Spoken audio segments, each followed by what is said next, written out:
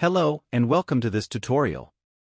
In today's video we will address an ASI slave using an ASI programming device. First we have to connect the ASI cable to the slave module.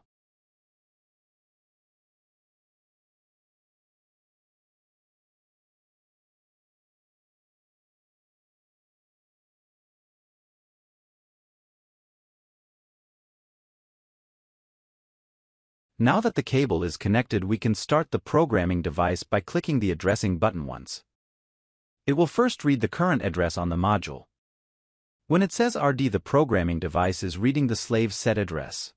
Now to choose a new address we use the arrow buttons. I am gonna set this one to address 20A.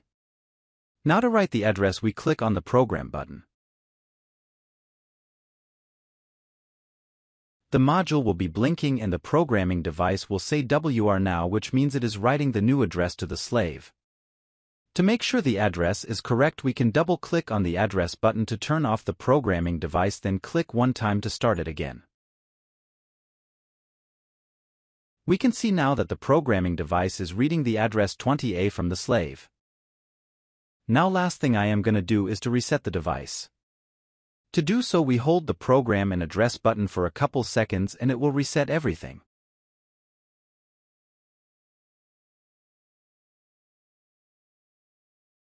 Thank you for watching this tutorial. If you liked the video give it a thumbs up and subscribe.